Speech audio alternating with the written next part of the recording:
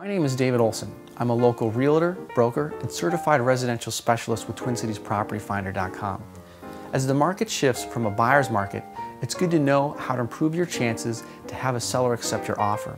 Join me as we talk specifically about how to have the best chance to get your offer accepted.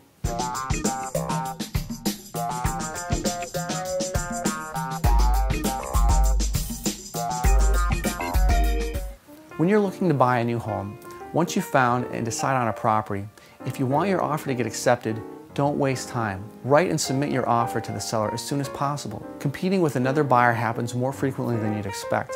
And if a multiple offer situation happens on a property that you're interested in, here are some tips that can help you have significant advantages or help level the playing field.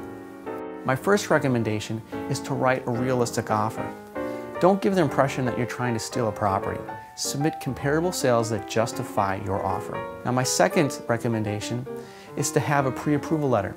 This satisfies the seller's biggest concern that an unqualified buyer will waste their time by unnecessarily taking the home off the market and cause the seller to lose other opportunities. The third thing you'll want to do is consider to put down a larger amount of earnest money. This can show that you're more serious and committed to buying.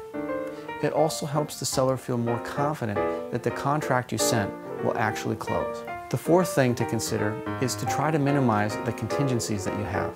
From a seller's standpoint, each contingency that you have is one more reason why the sale won't go through. With contingencies, a seller can feel like they're in limbo as they're waiting for each contingency to be removed while the home is off the market and waiting to close. My fifth suggestion is to shorten your inspection period. Now I can help you get a reasonable time frame based on your situation for this, but typically a faster inspection period lets the seller know that you're assertive, motivated, and will communicate faster to get everything finalized. My last recommendation is to write a personal letter. Tell the seller why you want their home. This can be a great way to make an emotional connection to the seller and makes the difference sometimes in getting your offer accepted. The seller wants to feel confident that the offer they accept will actually close so they can plan their next move.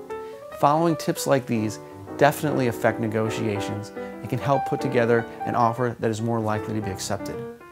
If you'd like a copy of my free home buying guide that includes more valuable and helpful information about purchasing a property, text me your email address at 952-314-9446 or visit my website, TwinCitiesPropertyFinder.com. When you're finally at the point where you write an offer on a property, I hope these tips will save you time and money, but most importantly, get you into the home that you love.